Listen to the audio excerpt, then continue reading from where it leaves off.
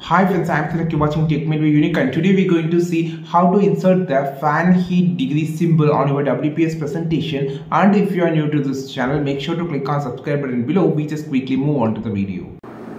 So how to insert the Fahrenheit degree symbol in WPS presentation. So first of all click inside the text box.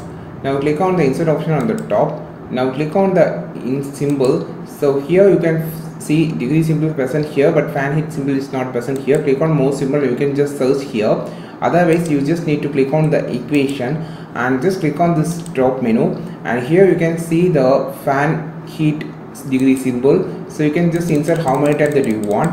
So these are the two ways. The third way is plus to windows key plus dot symbol on your keyboard. It actually opens the windows dialog box windows symbol dialog box we just change to the symbol option on the top. Now you can see a lot of the symbols are categorized here so you can see uh, and just scroll down and here you can see the Fahrenheit degree symbol present here. So you can just insert how many times that you want. This is how you just insert the Fahrenheit degree symbol on your wps presentation.